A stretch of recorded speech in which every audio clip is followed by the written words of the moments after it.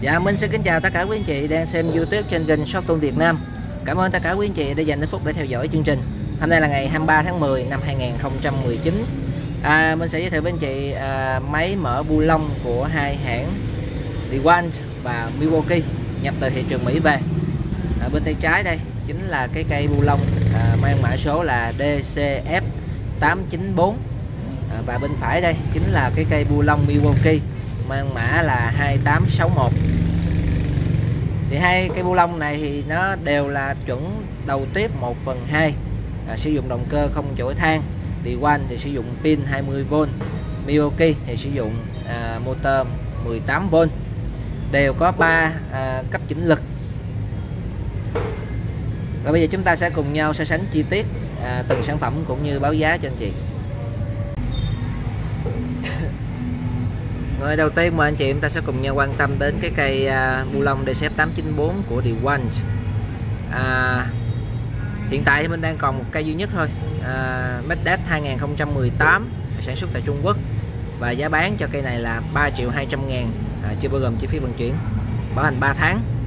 Rồi nó có hai tốc độ xoay. À, tốc 1 tốc chậm là 900 vòng một phút tốc nhanh là 2.000 vòng một phút. Đầu tiếp 1 phần 2 13 mm nhịp của búa là 3.100 à, lực yếu của nó là 203 Newton. À, lực mạnh của nó là 447 đây là lực siết còn lực mở là 813 Newton trên mét.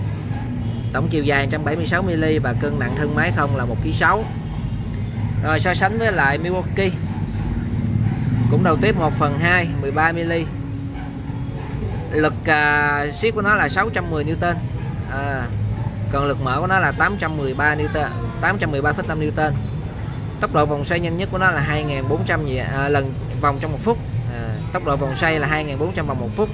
Nhịp của búa là 3000 tổng chiều dài 170,2 mm và cân nặng 1 kg 7 mình sẽ cặp vô chung để anh chị cùng xem. Về tốc độ à, về tốc độ thì Milwaukee lên tới 2004 còn à, quanh chỉ có 2000 thôi. Lực nhịp của búa thì DeWalt 3001 còn Milwaukee là 3.000 à, lực siết lực siết tối đa của à, điều quanh là 447 Newton thì à, Milwaukee là 610 Newton. Còn lực mở là 813 à, thì Milwaukee cũng 813 tổng chiều dài à, Milwaukee 170 thì điều quanh là 176 à, cũng không chênh lệch nhiều. Còn cân nặng là 1 kg 7 đối với Milwaukee và cân nặng 1 kg 6 đối với điều quanh đó là hai cái thông số kỹ thuật à, được thực nghiệm trên phòng thí nghiệm cũng như là do hãng đề ra. Về quá trình thực tế sử dụng thì à, nó sẽ có sự thay đổi. Thứ nhất là do ốc hát mình mở nó sẽ không phải là ốc mới mà là ốc đã sử dụng và chịu ảnh hưởng bởi thời tiết. Nhiều khi bị rỉ sét bị bụi bẩn bị cháy rang vân vân và vân vân. Mình sẽ so sánh về thông số kỹ thuật à, lý thuyết trước. Rồi bây giờ sẽ xem từng máy à, trong video này cái cây DeWalt mà giới thiệu với anh chị là cái đát 2018 à, được sản xuất tại Trung Quốc. Thì cây này à, mình đang thanh lý cái cây cuối cùng với mức giá bán thân máy không là 3 triệu 2 à, mình xin nhắc lại thân máy DeWalt DCF 894 đát 218 sản xuất tại Trung Quốc. Thân máy giá 3 triệu 200 ngàn. Còn Miyuki à, đây là thân máy 2861 à, và đang được bán mức giá là 4 triệu 6 thân máy thôi. À, pin đây mình gắn vô để mình làm một cái video à, giới thiệu về tính năng của hai máy hai hãng. Rồi đối với điều quan à, đầu tiếp của nó là đầu 1 phần 2 à, sử dụng bi ưu điểm của nó là gài cái tiếp vô rất là cứng à, mà nhược điểm của nó là lấy ra hơi khó khăn hơn. À, thân máy à, sử dụng động cơ không chở than flex motor. Tay cầm à, ốp cao su mềm chống trượt. Về cấp chỉnh thì nó có hai cấp thôi. À, cấp low và cấp 2 à, cấp cao. Còn nếu anh chị để giữa thì nó sẽ siết và mở nhóm. À, siết ốc nhóm cũng như là mở ốc nhóm ra. À, theo chức năng này mình sẽ tự trải nghiệm trong cái thực tế. Nhưng mà nếu mà siết ốc nhóm thì à, khi mà ốc vừa cứng nó sẽ ngừng lại và nó không có hoạt động nữa. Đây mình cùng so sánh pin 4 ampe sẽ chỉnh qua cái tốc 2 à, cho anh chị nghe tiếng máy trước.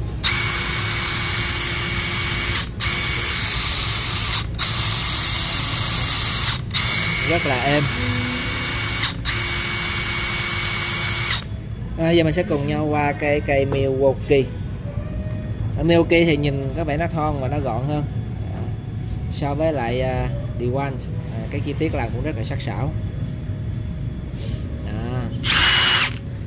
ở đây thì uh, Milwaukee nó cho mình ba cái tốc độ chỉnh à, một, 1, 2 và 3 cũng như tương ứng với ba cái lực khác nhau mình sẽ nhấn vào cái à, nút này để mình sẽ chỉnh qua cái mode. Đó, anh chị thấy cái đèn nó sáng. Rồi sẽ nghe cái tiếng mạnh nhất số 3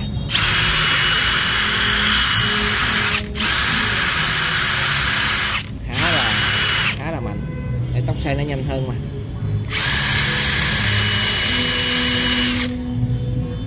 Milky thì nó sử dụng pin 18V đây là cục pin 4A mình sẽ để xa ra cho chị cùng xem cái à, so sánh gọn hơn.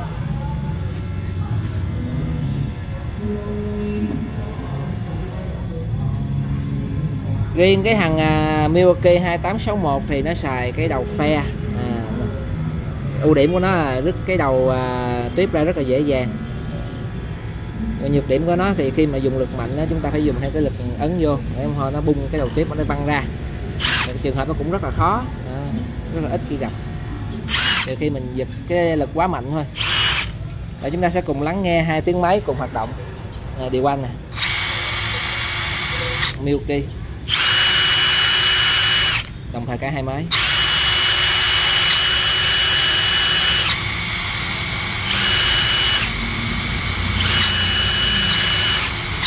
Điều quanh thì tiếng máy nó êm hơn. Và nó đầm hơn còn nghe tiếng Milky là biết cái cảm giác nó rất là mạnh mẽ. Rồi rồi vậy là mình giới thiệu trong video này à, cây à, D D1 DCF 894 thân máy sản xuất tại Trung Quốc.